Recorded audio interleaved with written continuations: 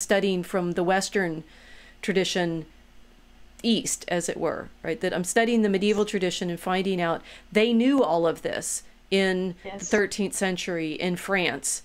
That's why they're building Chartres as this magnificent mm-hmm. ark of Our Lady. That they are seeing her in all of these references and and stories. They have many of the ancient stories too, like her growing up in the temple and so forth.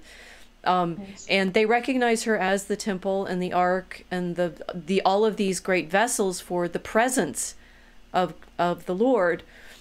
And I got very excited by the work that this um, Methodist uh, Old Testament scholar Margaret Barker had been doing because she was finding it the same sort of resonances from the other direction, right? Looking at uh, the ways in which things like she started with the book of Isaiah. Actually, started with the book of Enoch, and then she worked through Isaiah, showing that things like the prophecies of the angel of the Lord make sense of what the Christians actually saw fulfilled in Christ.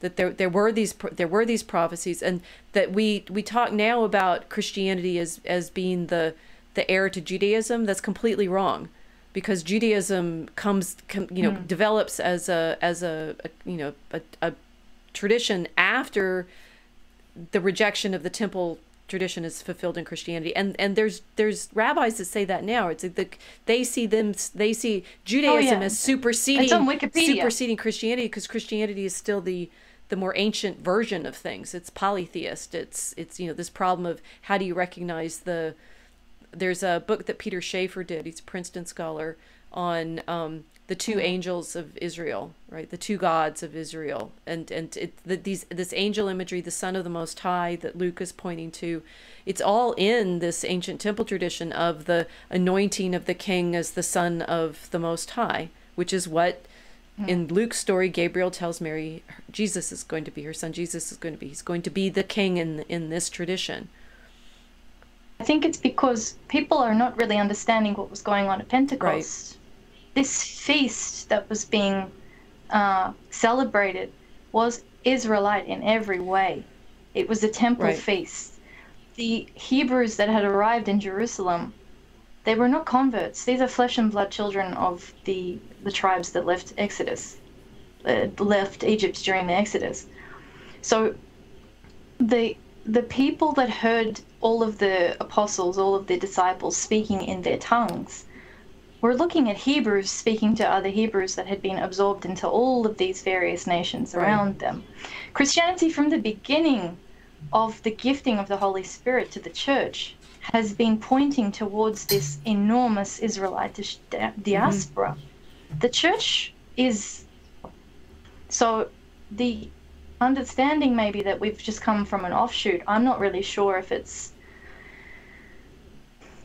people are forgetting that that feast was what it was, but the conversion of the uh, of the Israelites, you know, that that's the central uh, commission to the to the apostles at that time was go and preach to all nations. They had to start with the Hebrews that had been scattered throughout all of those nations. It was only right, later the lost sheep of Israel. Yes. Yes. Yes. And so there's no distinction between where the Hebrews had been scattered, if they'd been in the Iberian Peninsula, what we know as modern day Spain, or if they'd been thrown out into uh, Arabia Felix in modern day Yemen, or mm-hmm. Ethiopia, or India, or Persia, or Italy, or Greece, we were everywhere. And it was very obvious that the, the apostles understood this because they were running around. yes, there's all the, the medieval traditions of how they go to the, everywhere in the world, right? There's early Spanish maps, these Beatus Apocalypse maps showing the wor- map of the world and where all the apostles went. Mm. Um, and, and there's very ancient Indian traditions of Thomas that, yes. that, that, he goes there. I mean, when the, the Jesuits show up, they're already Christians. um, yeah. because because of this yes this this spreading the the, the the, the spreading and of course because they're not actually you're calling them Hebrews or Israelite but they're mainly speaking Greek which is why they have the Septuagint, yes. and it's why the the Christian New Testament authors depend on the Septuagint for their their scriptures, and why it's I've said this in a lot of streams, but we're saying this now into this the, our new one, ours, right? Um, why new uh, Septuagint scholarship now recognizes that the Septuagint was the ancient tr- tradition. Um, that that the modern Yeah. Hebrew differs from it is um, not an indication that the Septuagint was mistranslated. And, and and the New Testament recognizes the way in which Christ fulfills the prophecies as they're recorded in the in the Greek. And so the Orthodox Church uses the Septuagint as its as its scriptures. Yes. Well, the the Hebrews had been Hellenized. Right.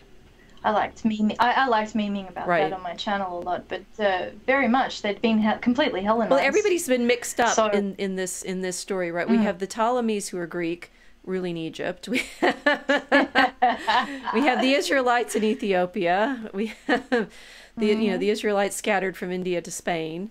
Um, and Yes. so when Christ comes, it is to the whole world, clearly, two and two different nations. You know, the, the nations are clearly there, and the nations are constantly mentioned in in the Psalms as he will be he rule the nations. So all of the different peoples.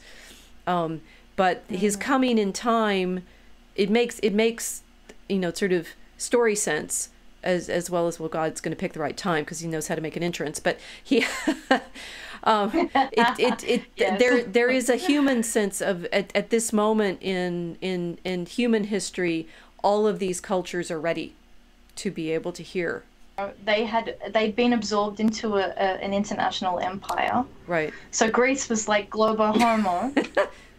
um, and uh, you know everyone speaks Greek. Everyone's been Hellenized, so they were primed for that international communication because Right. for the first time uh, we had that enormous land uh, land mass. You know that enormous amount of, of territory speaking the same language.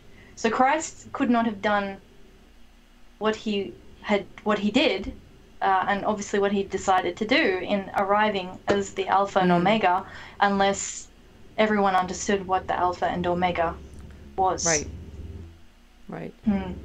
So we say that the, the Christianity is fulfilling this this temple these temple prophecies and recovering the ark, right? That the ark is gone. I mean Yes. that's that's where the, the Ethiopian story has you know plausibility because we don't know where the ark is. Um, And yet it's very clear that the New Testament authors think they know. Um, and there's and there's two ways that um, is shown. One is in Luke, exactly where we were looking uh, after um, Gabriel comes to Mary and, and and tells her that she's going to be the the mother of the Most High. She goes and visits her sister, her cousin, sister, her cousin Elizabeth. Right, again, another of these great two pregnant women meeting, and their and their children leap in their wombs at the recognition of each other, clearly showing that yes, life begins in the womb. Um, um, there's wonderful medieval images of, of that visitation, right? Of this meeting of the two pregnant, the two pregnant mothers, and Mary's like three months pregnant. No, Mary's Elizabeth is six months pregnant, and Mary is newly conceived. But anyway, so John leaps in his mother's womb, and all of the language in the description here, which is also going to end up with Mary singing the Magnificat, right? The first great Christian song Mary sings, "My soul doth magnify the Lord." But her going, her traveling and going up to the mountains and such. Scott Hahn is done a lovely reading of this in his "Hail, Holy Queen," of how Luke is very purposefully um, replicating in his narrative David's taking the ark up into into Jerusalem. Um, and and you know coming to that Elizabeth comes out to meet the my Lord in Mary who's carrying the Lord who's carry is, is the ark carrying it. And and you can tell that this is a temple story because of the first chapter in Luke where we have um, John's conception and his his father serving in the temple right? So we we're, we just replete with temple imagery. Of course Mary is the ark the physical vessel of the Lord who is going to be there for and this is where you know the proper the properness in the in the in the Christian tradition is that she is she has to be as pure as she is because what else are, what else is going to be the the carrier for the Lord?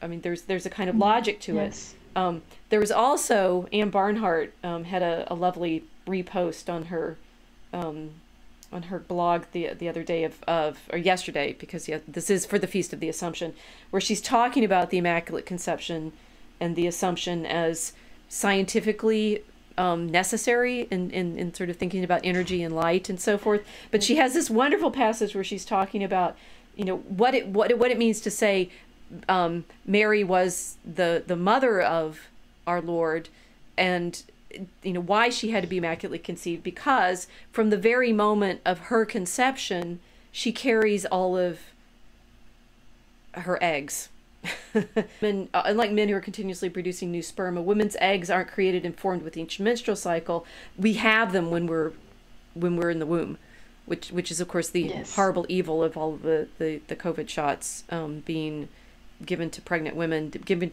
disrupting women's menstrual cycles.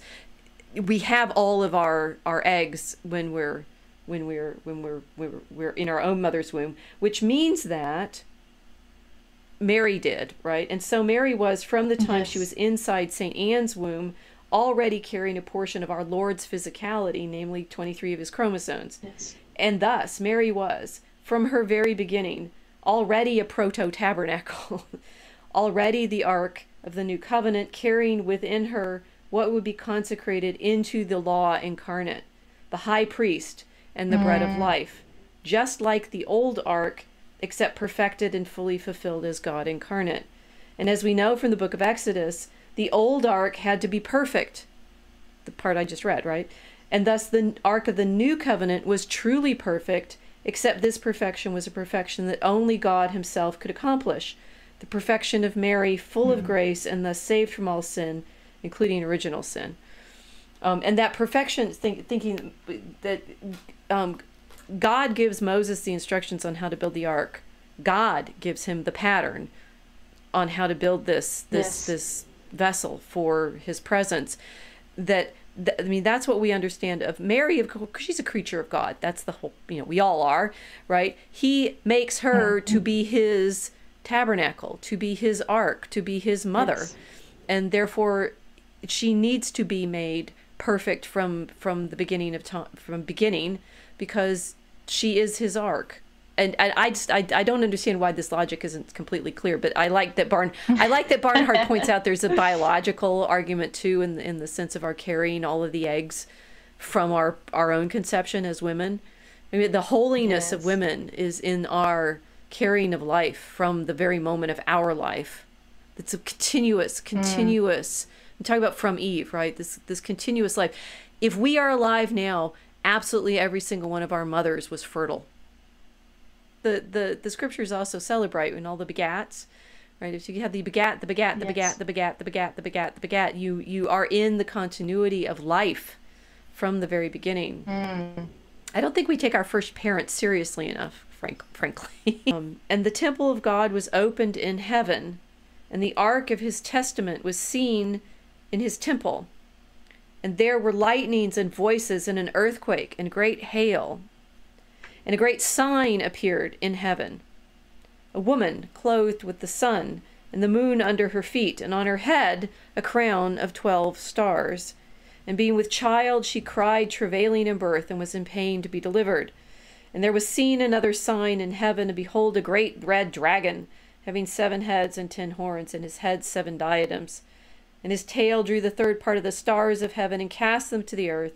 And the dragon stood before the woman who was ready to be delivered, that when she should be delivered, he might devour her son. And she brought forth a man child who was to rule all nations with an iron rod, and her son was taken up to God and to his throne.